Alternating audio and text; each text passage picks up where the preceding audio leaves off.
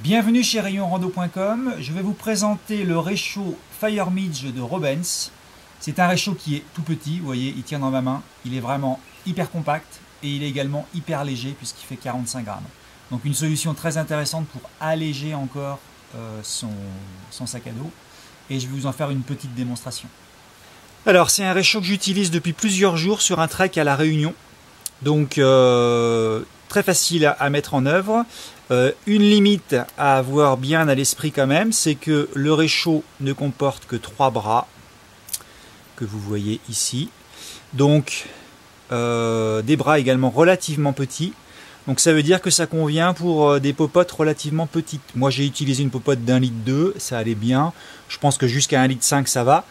Euh, si on va au-delà, ça va être euh, trop large ou trop lourd, donc ce ne sera pas suffisamment stable.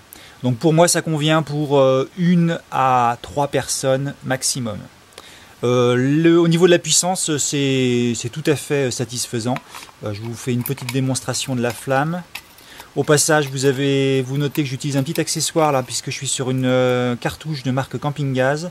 Donc j'ai un accessoire qui permet d'adapter ces cartouches à valve sur tous les réchauds à vis, c'est-à-dire tous les réchauds puisqu'il n'y a que les réchauds de la marque Camping Gaz qui utilisent les cartouches à valve de cette marque là.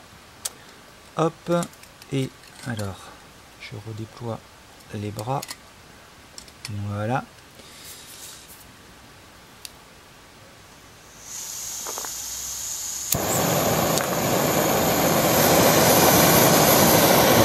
Débit, c'est tout à fait correct. Donc ça permet de faire chauffer euh, un litre, un litre et demi euh, sans difficulté. Euh, ça chauffe bien, donc c'est assez efficace. Donc pour moi, en résumé, c'est un réchaud qui est intéressant pour gagner encore du poids et pour en donner à une, deux, voire trois personnes maximum, la limite étant la taille de la popote et le poids de la popote qu'on va pouvoir mettre dessus. Voilà, vous le retrouvez sur rayonrando.com.